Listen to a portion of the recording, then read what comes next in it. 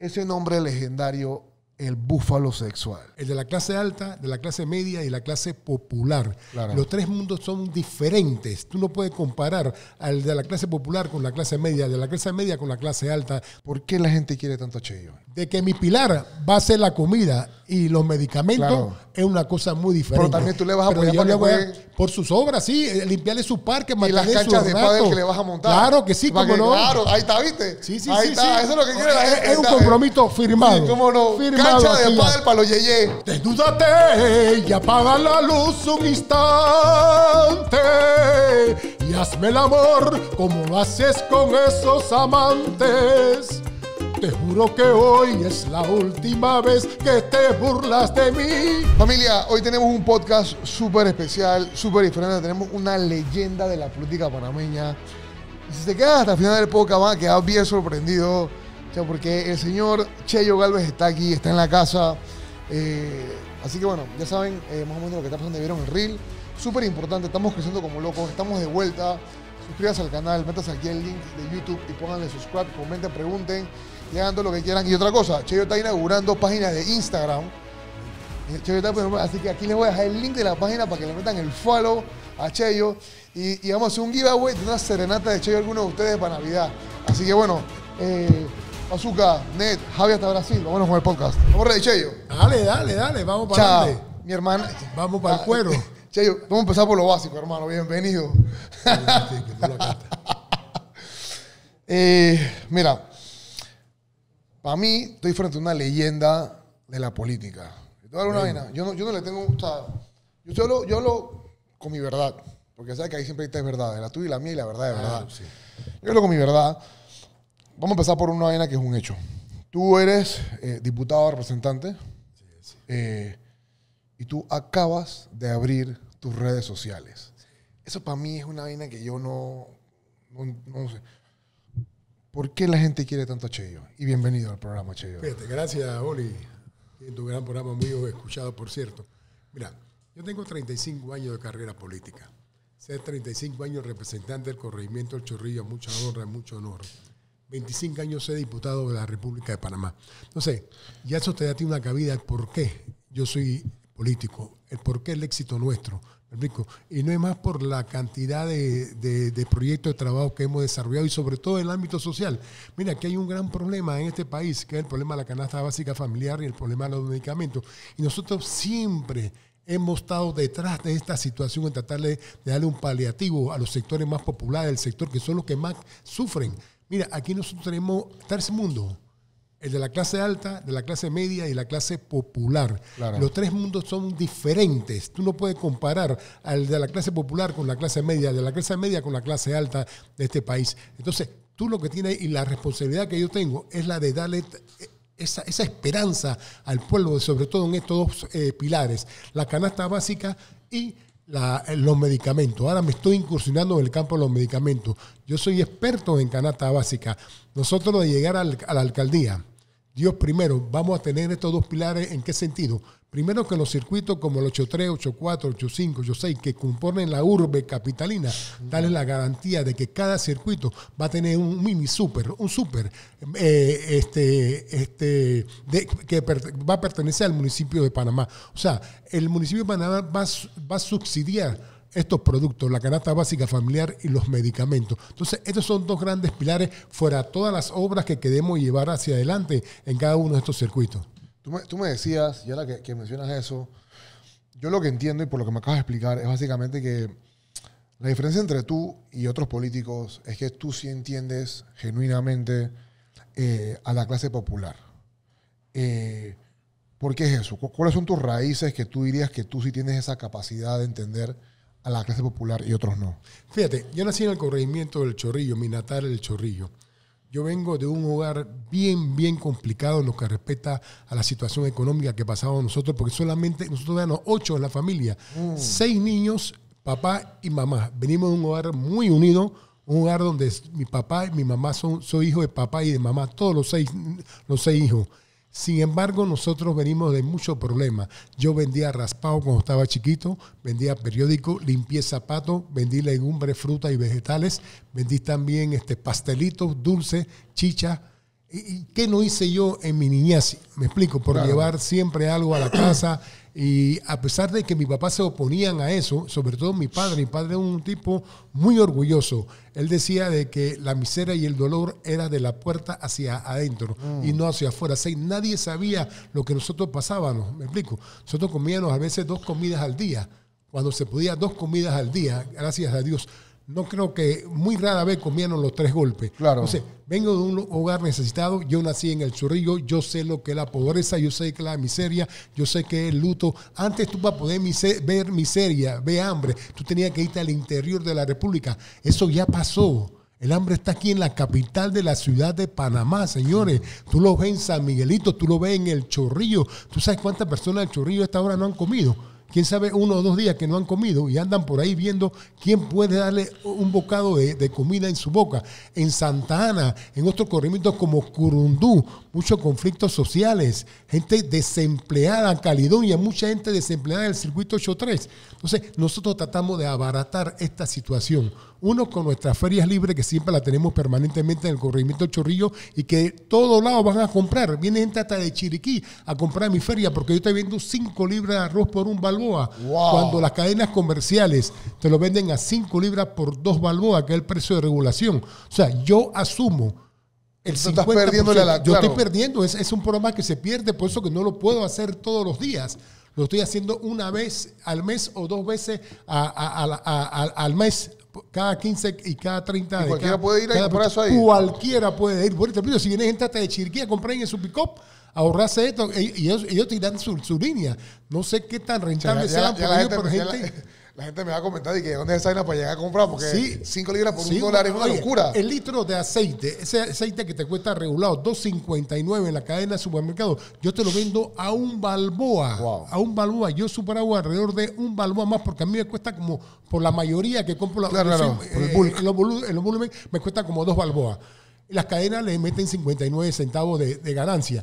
Yo, muy por el contrario, le rebajo un dólar 59 a cada litro de aceite y así sucesivamente la leche ideal yo te la vendo a 60 centavos cuando un producto que está en, las cadenas comerciales a un dólar 15, un dólar 13, un dólar 10.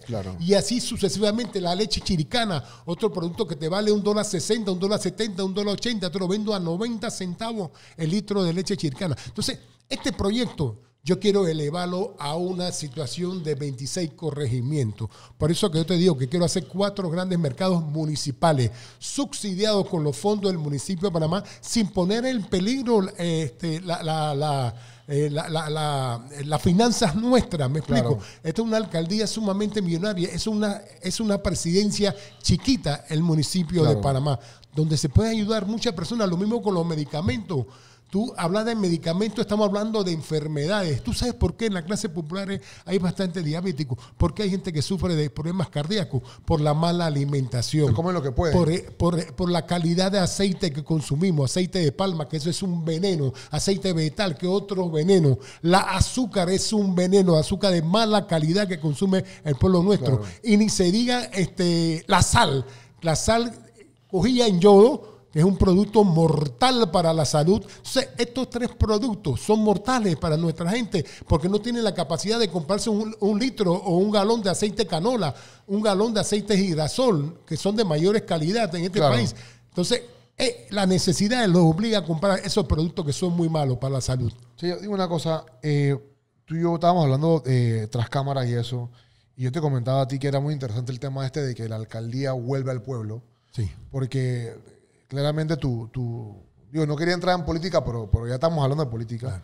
Claramente tu competencia dentro de la alcaldía, porque, porque ese es el tema que más me interesa ahora mismo, eh, digamos que viene de otro tipo de, de, de fondo. O sea, lo que son, en el caso de, obviamente Fábrega, eh, Misrachi, eh, Brose, Willy Bermúdez.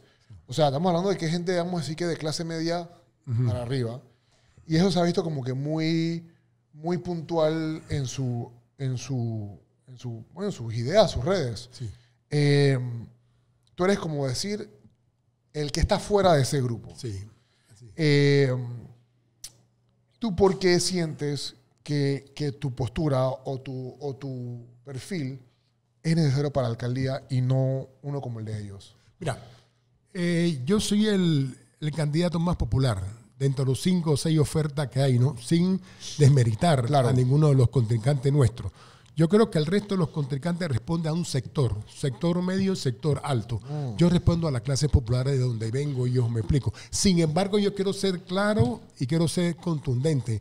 No me voy a aislar de los problemas de la clase alta y la clase media. Yo, Claro. yo, yo lo tengo a ellos también en mis planes de gobierno. Ellos están en mi mente. De salida te voy a decir algo, y para que estén un poco tranquilos los comerciantes del Distrito Capital, que en mi administración no va a haber aumentos de, de impuestos municipales, que pueden estar tranquilos que yo no voy a aumentar un solo real de impuestos municipales. Claro que aquellos comerciantes que están con el hueá vivo, que no quieren pagar impuestos, tienen que pagar sus impuestos Claro. municipales, los que le toca en la regla de cada uno pagar. Aquí hay muchos negocios que tienen supermercado, tienen ferretería, tienen este eh, medicamentos, farmacias y solamente te pagan un solo impuesto, ¿me entiendes? Entonces, esa gente que no está pagando bien su impuesto tienen que pagarlo. Pero sí le doy una tranquilidad a la Cámara de Comercio Agricultura de la, ciudad capital que puede estar tranquilo con Cheyo Galvez, que no va a haber aumento alguno de impuestos municipales durante la administración de llegar yo sea alcalde de Tito Capital.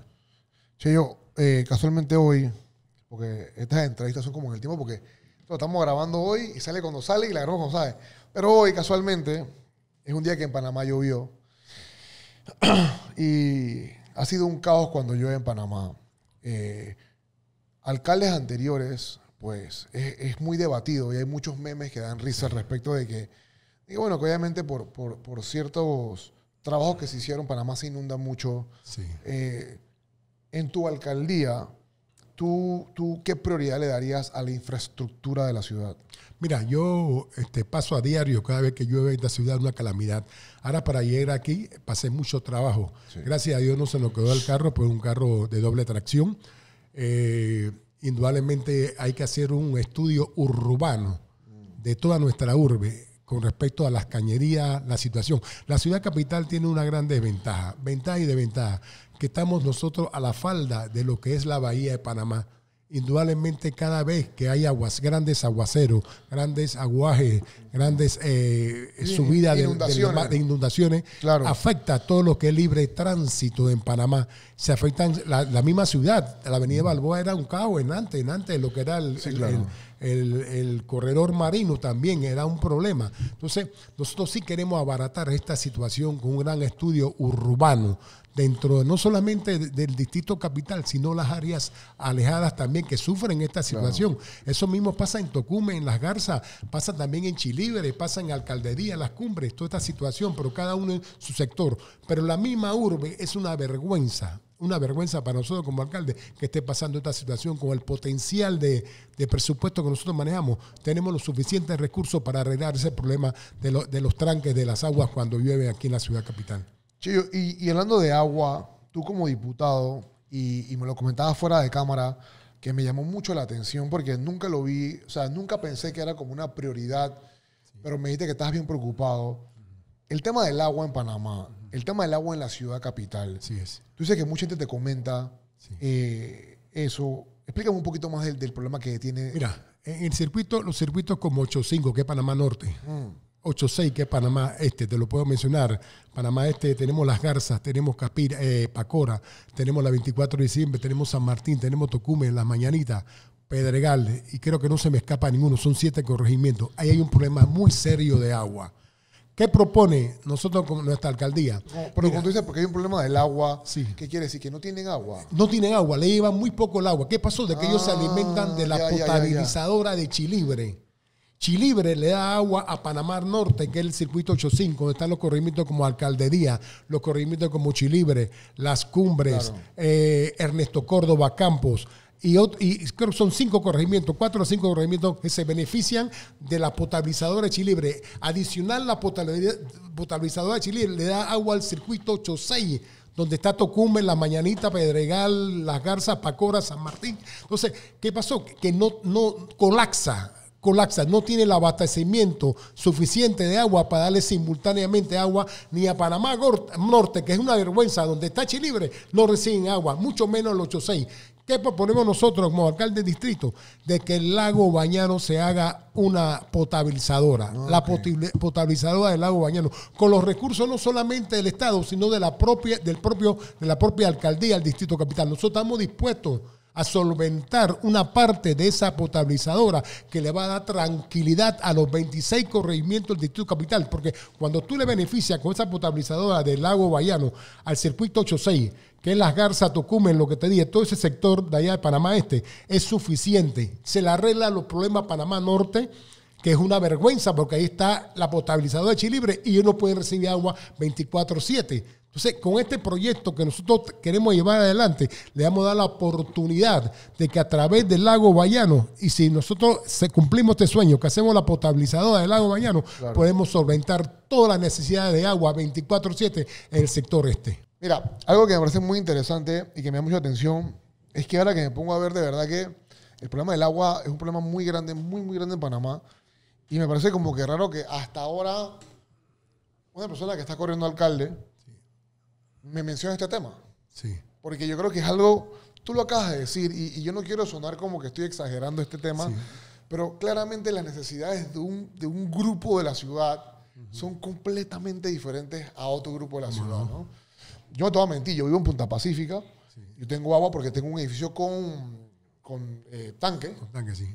Pero yo me acuerdo, chuleta, la gente, ahí es donde la gente dice a la, la, me acuerdo cuando vivía en El Dorado, Ahí ya no había agua, o sea, y no subía la presión. imagínate, si ahí a veces no había agua, pero había, ahora te imagínate una persona que tenga que trabajar, que tenga que ir a la escuela, y no sabes ni cuando llegue el trabajo va a tener o no va a tener agua. Claro. Estando en la ciudad de Panamá, lo que le dicen el Dubai de las Américas, lo que le dicen que es que la mejor ciudad del mundo, y de verdad que estemos discutiendo que no haya agua para el pueblo, es una vena que, que, uno queda como, como en shock. Ahora fíjate una cosa, y qué curioso, ¿no? Chorrillo tiene agua 24-7. Mm. San Felipe, Santana, Caledonia, Curundú. Eh, porque nos abastecemos de la potabilizadora de la Autoridad del Canal de Panamá. Claro. Me explico. La Autoridad del Canal de Panamá no da agua 24-7. Me explico. El canal no se puede quedar sin agua y menos los sectores de Ancón donde se, se, se benefician con la potabilizadora. Entonces, somos bendecidos, por lo menos el circuito 8.7 antiguo, que hoy es día 8.3, sobre todo los corregimientos Curundú, Caledonia, Santana, San Felipe y Chorrillo, se benefician 24.7 de la autoridad del canal de Panamá. Entonces, así es que está dividido eh, la ciudad con respecto al agua. La potabilizadora de Chilibre le da agua al circuito 8.4 y al circuito 8.6. Me explico, son los edificios donde hay una mayor densidad de población y va en aumento, va en aumento. Me decía un empresario que, construye mucha casa que él se ve imposibilitado de seguir construyendo casa tanto en el 8.4 que el sector norte de Panamá y el sector este, porque no hay agua. No hay agua, no alcanza eh, la, potabilizadora de Chilibre en solventar eso. Si tú le vas a dar agua a Panamá Norte, tú tienes que cerrarle a, Panamá Este. Claro. Si le vas a dar agua a Panamá Este, tienes que cerrarle a Panamá Norte. Entonces, es lo que queremos nosotros como alcalde, intervenir en la grave del problema del, agua. Y también otro problema muy serio que tenemos nosotros, la basura. Wow, ni me diga. La basura. Ya, ya Cerro Patacón colapsó Cerro Patacón tiene 38 años de existir. Ya no hay dónde echar una lata ahí de, basura en Cerro Patacón. Hay entonces, el sistema Cerro Patacón es enterrar la basura. ¿Me explico? Y ya no hay, no hay, ya, ya colapsó eso. Hay que pensar de una, en una planta de tratamiento. ¿Qué es una planta de tratamiento? Una situación muy distinta a lo que es Cerro Patacón. planta de tratamiento de la basura es donde tú vas a reciclar la basura Dicen los grandes entendidos en esta materia, yo no soy, yo soy neófito en esta materia, dice que el 70% de la basura es reciclable. Tú la puedes reciclar, sí, el 70%, y es mucho dinero. Tú puedes este, reciclar el plástico, este, el papel y tantas y tantas cosas que, tú son puedes. Sí, sí, exactamente. Entonces, es un negocio. La basura en el mundo entero, en los países desarrollados, es uno de los mayores negocios. La, basura te produce gas, la basura te produce eh, eh, electricidad, corriente. Entonces, todas estas situaciones, entonces, por eso se requiere una planta de reciclaje, una planta de tratamiento de la basura. Ahora, no sabemos dónde se puede poner esta planta, porque nadie quiere un patacón al lado de su casa. Absolutamente nadie. Pero sí hay que hacer un estudio de eso, porque ya colapsó Cerro Patacón.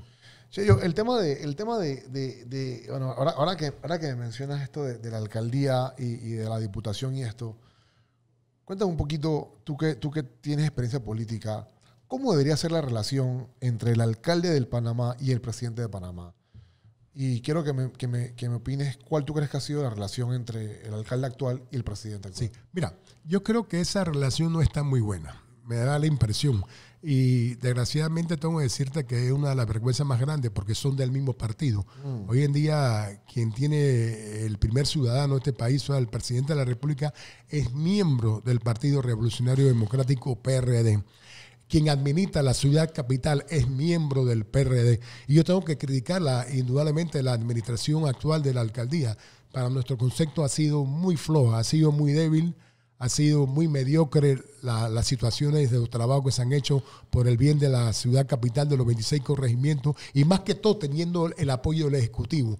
Porque si yo tengo una alcaldía, soy alcalde, y mi presidente es Ricardo Martinelli, créeme lo que le voy a dar de todo a la ciudad capital, va a ser la tacita de oro que antes era la ciudad capital. Pero no se ve la mano del Ejecutivo como presidente tal, ni Cortizo, no se ve que apoya a la alcaldía del Distrito Capital. La alcaldía ma- del Distrito Capital, el alcalde actual, no tiene un programa eh, mancomunado con el gobierno nacional. Entonces, ¿Qué pasó? Se ve afectado los 26 corregimientos de las obras, eh, la, la ausencia del poder eh, este, municipal no se ve en las comunidades y es por eso que te digo de que eh, cuando tú eres gobierno y eres alcalde del mismo gobierno, eso sería beneficioso para la urbe capitalina, pero no se ve ningún trabajo del actual alcalde y mucho menos acompañado del trabajo gubernamental por parte del Ejecutivo.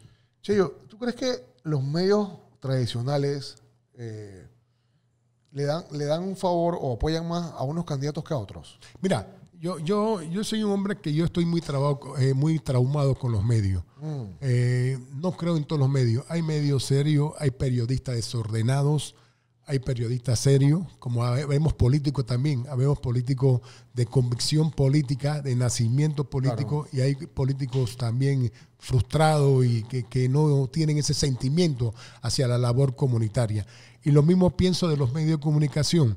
Eh, yo creo que nuestros medios, la verdad, son un tanto sensacionalistas, eh, sí tienen agendas políticas, todos los medios tienen agenda política. Te puedo mencionar, este, sin herir el sentimiento de nadie, Metcon está liderado por el PRD, Metcon es PRD, y también este, tira hacia la candidatura también de, de Rómulo Rux. Opaca, opaca la candidatura de Ricardo Martinelli, TVN lo mismo, este, tienen sus candidatos, eh, y así muchas y tantas, tantas emisoras y todo. Cada, para mí, cada eh, televisora, cada medio de comunicación tiene su color de partido. Sí, tiene su color de partido. Aquí nos causa un tanto, una, tanta nostalgia en que estos medios la, la toman eh, la, la candidatura de Ricardo Martinelli para satanizarlo, aunado a la justicia, que es una justicia aquí eh, mediocre, una justicia que, que es y que nosotros nos preocupa mucho. Eh, hay mucha preocupación por el pueblo, por el destino de Ricardo Martinelli, quien hoy marca número uno en las encuestas de este país y que por situaciones políticas se le quiera inhabilitar hoy en día a Ricardo Martinelli. Te pregunto porque a mí me parece súper curioso que tú seas diputado, de Chorrillo, diputado de, de sectores tan populares y que toda la gente que yo le he comentado y que, y que, y que saben que venías para acá, te tienen mucho aprecio. Y yo creo que tú eres un representante, junto con otros diputados, de sectores que, que son muy importantes para la ciudad. Sin embargo, yo veo que, que no les dan esa palestra pública para que puedan comentar tanto los problemas de la sociedad como su, su trabajo en televisión o, en, o en medios. Y yo creo que pues es parte de, digo, no es una, no es una cosa que yo me eché en el hombro, pero Claro. hay cosas que a mí me gusta y te, y te- y te invité porque Claro. me pareció que es muy importante tu punto de vista. Sí. Y creo que la gente también se ha estado dando cuenta de lo que tú acabas de decir. Yo creo que, que- que la credibilidad de ciertos medios ha bajado bastante. Sí. O por lo menos ya la gente sabe que hay una agenda de por medio. Yo te quería hacer eh, una pregunta que, que mucha gente me hizo que sabías. Era, tú vas como candidato a alcalde por Regresando Metas. Y Sin por el em- partido y por- Alianza. por- y por el Partido Alianza. Sí. Saludos a mi amigo Pepe. Sí, cómo no. Y entonces, pero antes de eso, hubo mucho debate quién podía ser o quién no podía ser el candidato Alcalde. alcalde. ¿Por qué termina Cheyo Galvez siendo la persona avalada por... Mira, yo te voy a decir para que manejes bien la información. En las pasadas elecciones, yo era el candidato a alcalde. Indudablemente iba acompañado en la dupleta con Ricardo Martinelli. Ricardo Martinelli en la a cabeza como alcalde y Sergio Galvez en la vicealcaldía. Ricardo Martinelli del teléfono público del Renacer hacía campañas políticas para nosotros.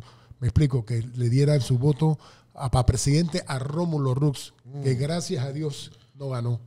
Que le dieran su voto a, a Ricardo Martinelli para alcalde ocho o nueve días antes de las elecciones para escoger al alcalde de Tito Capital, nosotros marcábamos número uno para ser alcalde de Tito Capital, gracias a la figura de Ricardo Martinelli. Quiero ser consciente, no a la Sí, claro. figura de Che Galvez. Claro, nosotros éramos un ingrediente que Claro. inyectaba ese, e- e- ese, ese Una cariño que, tenía, sí, que tenía Ricardo. Cuando se inhabilitó a Ricardo, yo me encargué de la campaña. Indudablemente ya las cartas estaban echadas. Yo siento que el Tribunal Electoral tenía un compromiso con el PRD, en este caso con Fábrega y con este Nito Cortizo, donde no sé qué tramoyas se habrán hecho, pero ganó Fábrega. Nosotros respetamos esos resultados, aunque no lo habíamos compartido en su, en su, gran, en su gran parte. Pero lo que te quiero eh, reiterar, de que el cariño que nos tiene a nosotros es por el trabajo que nosotros hemos hecho. Yo me identifico 100% con los sectores populares, Oli. No, no puedo llamar engaño que yo me identifico con la clase alta, la clase media. No, no, no. Ellos pueden estar tranquilos, que yo voy a legislar como alcalde por ellos también. Le voy a mantener sus sectores limpios, le voy a dar toda su seguridad a ellos que se sientan tranquilos con la administración de Cheyo Galvez, que no vean a Cheyo Galvez como un, un contrincante, como Claro, un claro, enemigo. claro. No, no, no, señores, vamos a trabajar juntos. Ya no bonito, ya Y- no, ya no bonito está en, en la sí, ya ¿verdad? bonito, ¿cómo no? O sea, la gente de, de, ¿cómo es? Santa María, Sí, la gente de Santa María, ya saben, Cheyo, Cheyo lo va a cuidar. ¿Cómo Porque no? ellos, dicen que, es- mismo. ellos dicen que es Santa María, por eso es Llano Sí, Bonito. sí. Mucho, la parte de atrás de esos Sí, lugares yo sé, yo sé, ¿cuál es? Sí. tienen vista a los push. ¿Cómo no? Si la vista lo puse, sí. Ajá, ¿Cómo no? Para que sepan, pues eso, Sí, eso sí, vale no. más plata. Ajá. No, todo eso, es, todo eso es la urbe capitalina. Yo voy a legislar para los 26 corregimientos, no solamente para los sectores populares. Ah, de que mi pilar va a ser la comida y los medicamentos Claro. es una cosa muy diferente. Pero también tú le vas a apoyar le voy a- por sus obras, sí, eh, limpiarle sus parques, y las canchas de ratos. que le vas a montar. Claro que sí, como no. Claro, ahí está, ¿viste? Sí, sí, ahí sí, está, sí. eso es lo que quiere la gente. es un está- compromiso firmado. Sí, cómo no. Firmado Cancha de pádel para los yeye. Ya, ya, aquí está firmado, ya. Chucha, che. Sí, yo tengo esa pregunta. Firmado. Eh, ¿Dónde nace ese nombre legendario, el búfalo sexual? Toma Mira, agua, toma agua. a- algo, algo hay cierto de eso y algo hay falso de eso. Ese número me lo puso una sierva, una evangélica. Eh, no, Sí. una sierva, no sí, puede una ser. sierva, sí. O sea, búfalo, Claro. sexual me lo puse yo. Ella me dice, Cheyo, tú eres un búfalo. Yo le digo, ¿por qué sierva? Me dice, en la Biblia el búfalo es el animal más fuerte, o uno de los animales más fuertes en la Biblia del tiempo de Dios, para que sepan. ¿no? Entonces, tú eres un tipo muy fuerte, Cheyo. A ti te han dado duro, tú has has aguantado tantos comentarios negativos, tanta publicidad falsa, y tú siempre has sido un hombre fuerte, tú has salido hacia adelante, pues. Entonces yo le digo, acá, sierva, vamos a ponerle búfalo sexual. Claro que sí. Y ahí nació el búfalo sexual. Claro, yo he sido un tipo que, pese a mi gordura, mi obesidad, que ahora estoy más flaco porque yo me he hecho dos operaciones del estómago, una manga gástrica y un bypass gástrico. Claro. Pese a mí, yo he tenido una suerte con las hembras, te voy a decir la verdad, Oli. Y a mí, ey, estando obeso, yo pesaba 500 y pico de libras. Claro. Ey, y a mí se me pegaban las chiquillas. Las pelas se me Es que pegaban. te voy a decir qué pasa. Yo, yo no voy a decir que yo soy un gran conocedor. ¿Tú, tú qué edad tienes, Cheyo? Eh, 6'2". Tienes seguidores. Ya te ves joven, buena Sí, piel, buena seguidor, piel. seguidor, chucha, seguidor, eres seguidor. creyente y tu vaina. 6'2", 6'2". Yo, yo también, yo no tengo seguidores, tengo 37. Ah. Pero tengo una. Lo que pasa es que las, las guiales, yo creo que ellos lo que la mujer lo que le gusta es un hombre que las haga reír.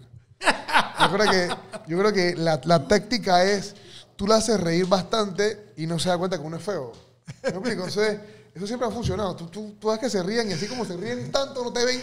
Y ya como te ven y que te mandan como feo, ya te quieren. No, pero tú sabes que mi éxito ha sido el léxico.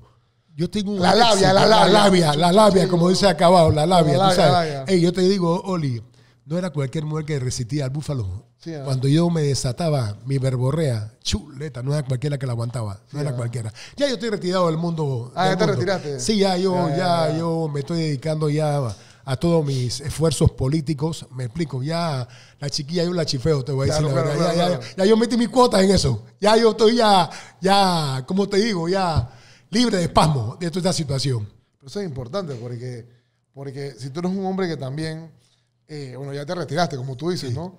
Por eso también, porque así también tuviste, la, tuviste el, el- el- el honor y el placer también de escuchar de diferentes personas muchas diferentes necesidades y conocer diferentes Claro, familias. cómo no. Me imagino que un poco de suegras que tuviste que atender. O sea, eso te dio mucho... Eso sí es verdad. Claro, me eso te dio... cuñado, bastante claro, cuñado, bastante cuñado, suegro. Eso te dio una, algo que muchos políticos de hoy en día no tienen. Sí, que esa sí, sí. juventud no carga. Así es. No, te digo una vaina. Ahora, yo te digo una vaina. Yo, yo, yo, no, yo no quiero. No, no, sí conozco a todos. No, mentira, aquí no conozco. No conozco todavía al alcalde Fábrega, Ajá. pero conozco a los demás. Claro, sí. Y si yo tuviera que apostar quién es el que más levanta, yo, yo diría que tú. ah. O sea, uno, sabe, uno sabe, uno se da cuenta qué es lo que es, uno se da cuenta qué es lo que es. Claro, claro. Che, yo, mira, otra cosa que te quería preguntar era, cuando, siendo diputado, Sí. nosotros como ciudadanos vemos esa asamblea, o sea, que se forma una demencia, Sí. eh, por lo menos un video muy famoso siempre es cuando Zulaya empieza a arrancar, a reventar a alguien, o cuando se para fulano empieza a reventar a alguien. Sí. Tú estás, por ejemplo, sentado ahí, Sí. y tú sabes que están tirándole de plomo a un man. Sí. ¿Tú cómo haces para no reírte? ¿O cómo, cómo tú, o sea, cómo tú haces? Porque yo, si estuviera ahí, yo estaría de que, ¡ah! ¡Oh! ¡No! O sea, yo estaría como, No, ¿cómo quien- tú haces para...? Hay, hay quienes se dedican a eso, para que tú sepas, a meter ¿A cizaña. meter cizaña? Sí, como no. Ey, mira, este, eh, Zulay, este está hablando vaina tuya, que esto y lo otro. Ey, mira, que este está hablando vaina. Entonces, hay quienes meten que son conductores de situaciones negativas dentro de la Asamblea Claro. Legislativa. Pues la Asamblea es una gran escuela, yo quiero decírtelo. Y mira, yo creo que aquí en Panamá ya tenemos leyes de sobra, Oli. Demasiado. Aquí hay que quitar leyes. Hay demasiado sobra. Aquí hay el día de la cutarra, aquí hay el día del perico, el día del perro, el día del ganado. Hay el, el día de tantas cosas y yo creo que ya las leyes están suficientes. No se puede seguir cargando este pueblo de leyes. Aquí lo que hay que concretizar son un gran plan comunal, un plan de, de- de acción contra el desempleo, contra la miseria, contra los dolores del pueblo nuestro, ¿me entiendes? Y no, mira, la ley que, que favorece al pueblo nunca se va a aprobar en este país. Sí, claro. La ley que toque la puerta a este país nunca. se- Mira, yo me acuerdo por una campaña que yo estaba en Corundú y estaba conversando con una señora. Entonces la señora me decía, Cheyo, ¿de qué han servido las leyes en este país? Mira cómo está mi fogón. Está durmiendo el gato en el fogón. El gato, el gato estaba arriba, del, del- el micho Oh. estaba arriba de, de- de la estufa. Claro. O sea, la mujer no tenía cómo poner su paila. Pues. Entonces ella dice, ¿qué ley le beneficia a este pueblo? No ha llegado una ley que beneficie al pueblo. pues Y eso es lo que nosotros los diputados tenemos, debemos tener la responsabilidad, enfocarnos en esos sectores. Mira, quiero. Yo, yo, yo, yo creo que yo no podría ser buen diputado por eso de que tú acabas de decir, porque yo te de que, ah, oh.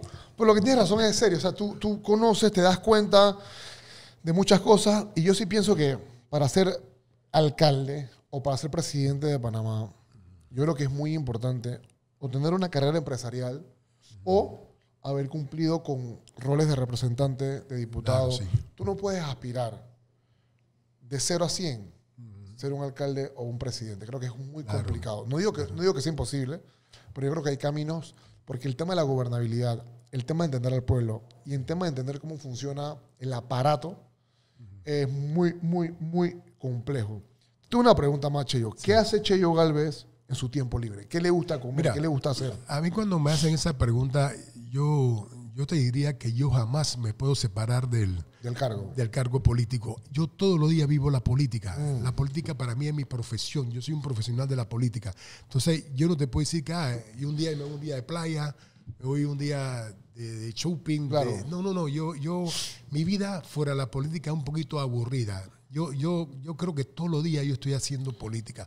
A mí que me gusta, me gusta pasear mucho por el Causeway, me gusta ver mucho los restaurantes en el Causeway, me gusta ver el, mar. El mar me relaja. Yo soy un tipo que vivo muy estresado. Me de- relajan los árboles, ver los árboles, eh, todas la, la- la- las áreas verdes me relajan mucho. El territorio, territorio del mar. Claro. Me gusta ir a restaurantes, me explico. Yo como en fondas todavía, para que tú sepas, pero también como en restaurantes. Y esa es mi vida, pero cuando estoy libre, que no tengo absolutamente nada que hacer, me voy al cobre o me voy al interior a pasear, nada más, pero coger barco, no me busque para eso. Coger avión, yo le tengo fobia a los barcos y fobia a los aviones. He viajado muy poco. Mira, yo fui dos años presidente de la Asamblea Legislativa. Nunca viajé. Tú sabes la cantidad de, de invitaciones que yo tenía y compromisos a nivel Claro. internacional. Y yo mandaba delegaciones de diputados que me representaran, diputados que, que quieren vivir en los aviones, diputados que les gustan los aviones todos los días. Se lo daba a ellos, pues, pues yo nunca viajé en mis dos años de presidente de la Asamblea Nacional de Diputados. Entonces, este, soy un poco extraño. Yo he ido, sí, a Colombia, ponte como seis veces a Colombia, por situaciones de operaciones, dos operaciones que me ha hecho, y por, yo soy religioso. Yo tengo, la mayor parte de mis santos son colombianos, están en Colombia. Tengo al Divino Niño, tengo al Señor Caído de Monserrate, eh, tengo, eh, me falta otra, la, la, la, la señora, Nuestra Señora la Candelaria de la Popa. Entonces tengo como cuatro santos, cinco santos en Colombia que tengo que ir visitándolos constantemente y no voy. Yo tengo más de seis, siete años que no voy a Colombia a visitar a mis santos. Pero sí, de aquí en Panamá sí lo tengo siempre presente. Presente, claro. Le oro mucho, le tengo su oración a cada uno. Todos los días le oro y le doy gracias por la vida, por la salud, por mantenerme trabajando y por tantas cosas que puede hacer por la gente. Cheyo, mira, ha sido un placer conocer esta primera etapa. Todavía no arranca la carrera política, ya arranco, pero todavía no arranca, eso ya es el año que viene. Mándale un mensaje ahí a toda la gente que está viendo. eh, no sé, lo que quieras decirles. Bueno, sí, no, le mando un mensaje a los 26 miembros ciudadanos que componen la ciudad capital, que van a tener a un alcalde amigo, un alcalde de mucho sentimiento, muy, pero muy humano, van a tener un alcalde muy humano y le garantizo que van a tener una de las alcaldías más felices de toda la época de este país. Va a ser la alcaldía feliz para los residentes del Distrito Capital. Ténganme confianza, denme un voto de confianza, denme su apoyo en las próximas elecciones, que se lo juro que no se van a arrepentir. Saludo a todos los miembros de la urbe capitalina. Cheyo, excelente trabajo. Quedamos Gracias, así, papá. Eh, no, si quieres, te, te meto una canción ahí, ¿no? Ah, ah, ¿tú, tú cantas? ¿Tú cantas? Sí, no sé. Atri, ¿canto? Dale, dale, dale, pa' ahí, tírate una, tírate una, ahí, tírate una ahí, pa' ahí. Imagínate Mierda, para, para, para, para. Yo, que yo no soy yo, que soy el otro hombre que esperabas ver. Un desconocido que te escribe un verso, te dibujo en la luna en un trozo de papel. Un amante improvisado, misterioso, apasionado, que te dio una cita en este hotel. Desnúdate y apaga la luz un instante y hazme el amor como lo haces con esos amantes. Te juro que hoy es la última vez que te burlas de mí, que me engañas. Que han sido mis celos los que inventaron la trampa. Y fueron mis manos las que escribieron la carta. Gracias. Si no me aplauden, yo mismo me aplaudo. Ey, es una vaina. Yo no sé, bro. Ey, es increíble, hermano. Ey, buenísimo. ¿Está bien ya? ¿Está bien?